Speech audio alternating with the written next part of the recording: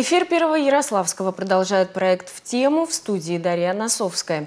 И сегодня мы поговорим о важности паллиативной помощи, которая развивается в России, Ярославской области. И сегодня у нас в гостях Алексей Васиков, директор автономной благотворительной социально-медицинской некоммерческой организации «Дом милосердия» Кузнеца Лобова.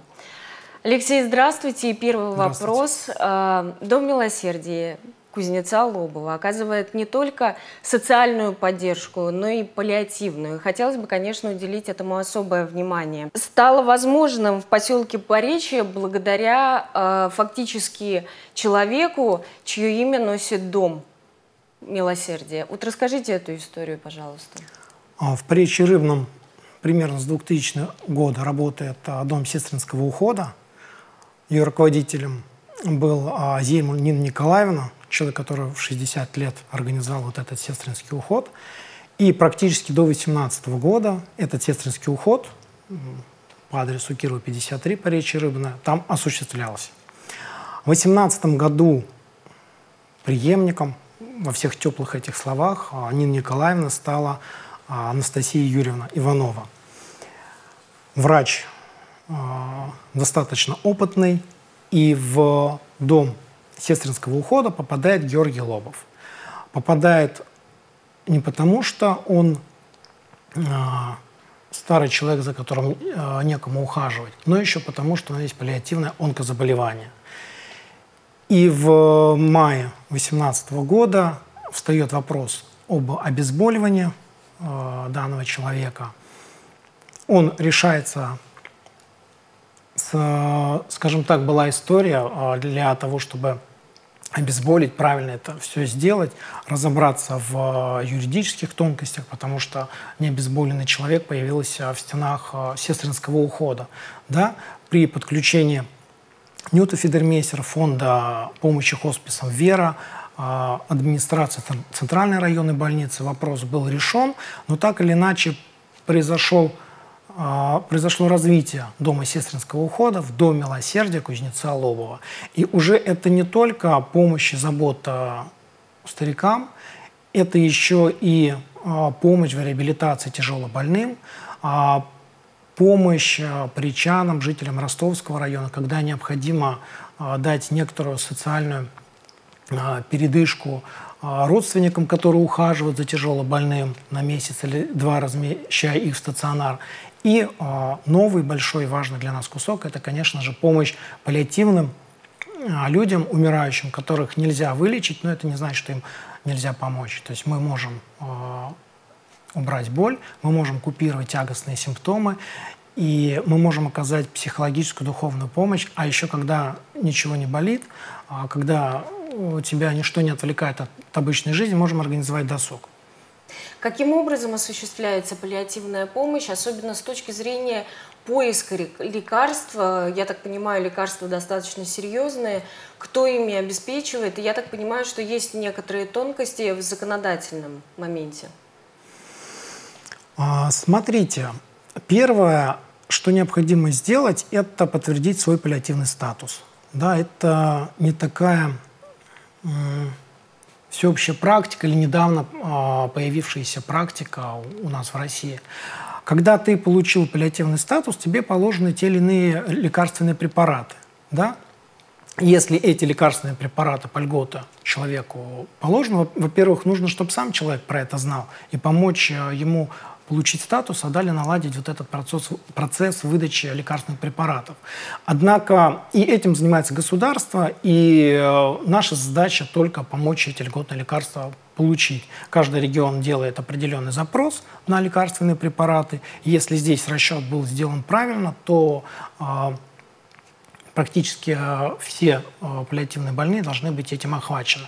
Иногда бывает, э, так как жизнь она меняется в течение года по ситуации, да, нельзя прям 100% попадания сказать, каких лекарств нужно больше, меньше. Над этим работают специалисты. Но если вдруг закупок не хватает и лекарства, особенно к концу года, пропадают или еще не поступили в регион, то мы можем помочь закупкой этих лекарств на средства Дома милосердия Кузнеца Лобова.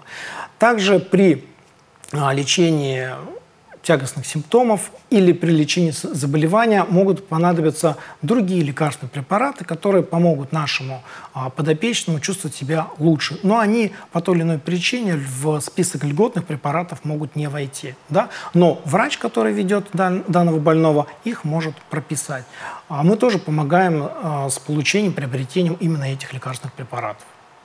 Я знаю, что недавно вы выиграли президентский грант, благодаря которому стало возможным осуществлять выездную патронажную помощь. Как она работает? Кому она полагается? Кто может ей воспользоваться? Да, это маленькая победа и наша, и я считаю, что региона в целом. Невозможно полностью паллиативный уход организовать в стационаре. А, многие хотят лечиться дома, желают лечиться дома, но им нужно правильно грамотное сопровождение. А, есть некоторые тонкости, правила ухода за тяжелобольным. Вот я тут а, пришел с папочкой, который выпустил «Мастерская забота», при поддержке а, фонда «Хосписом Вера» материалы по уходу за тяжелобольными людьми.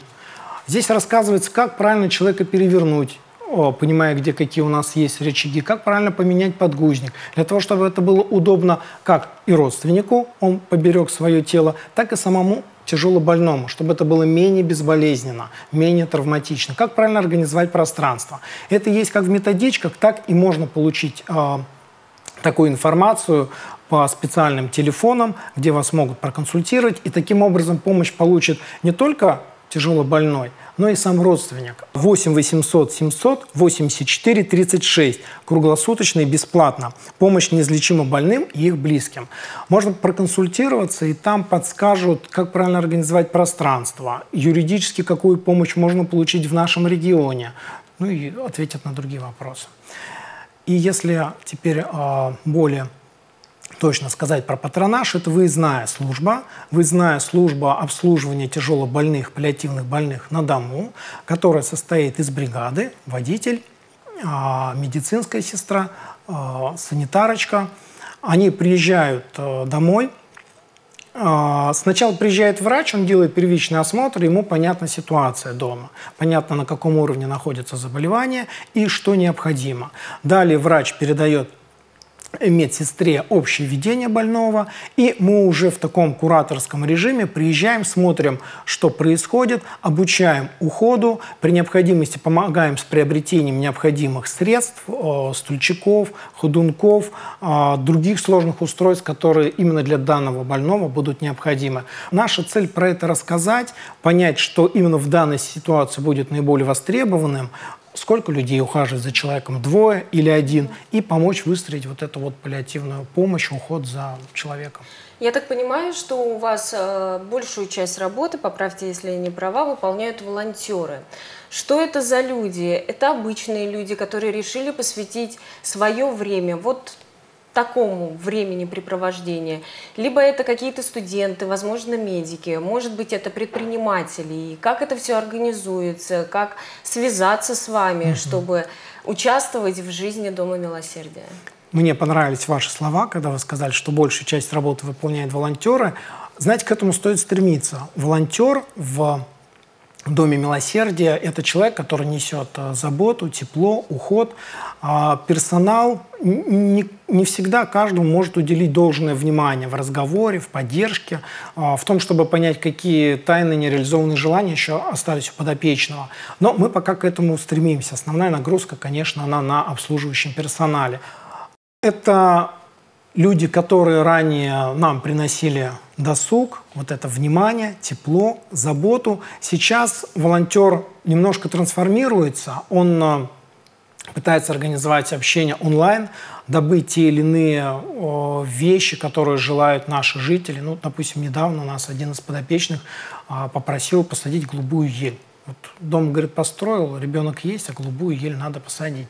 И благодаря сети волонтеров мы смогли э, эту ель достаточно быстро найти, выйти на организацию в Ярославле, которая нам ее подарил, а мы передали нашему подопечному.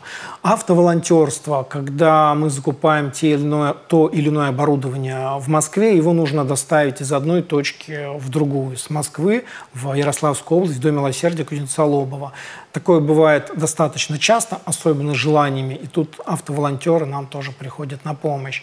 Иногда нужно найти родственника, организовать видеоконференцию, добыть э, там радиоприемник или съездить на родину данного человека для того, чтобы узнать, а живет ли тот знакомый, та бабушка, которого бы наш подопечный хотел увидеть. И без э, армии волонтеров, отзывчивых людей, это тоже сделать невозможно. Отдельный момент – это благотворительность. Э, волонтерство как э, жертвование средств на данную деятельность, на вот те руки, которые находятся рядом, ухаживают за тяжелобольными. И сейчас включается и органи в, в помощь Дому милосердия Кузнеца Ломова включается ярославский бизнес, ярославские предприниматели, что говорит об их э, ну, такой, наверное, социальной зрелости, готовности участвовать в социальных проектах. У нас есть организация, которая полностью нас снабжает а, различными бумажными материалами, от туалетной бумаги до полотенцами предприятий, которые находятся в поселке Семибратово. У нас есть организации, которые нам помогали с продуктовыми э, пайками. Э, то есть эта поддержка, она ощущается, и это хорошо, и у нас э, переходит разовая помощь в традиции. Это тоже здорово. И нужно сказать, что Дом милосердия Кузнеца Лобова, он оказывает свои услуги бесплатно.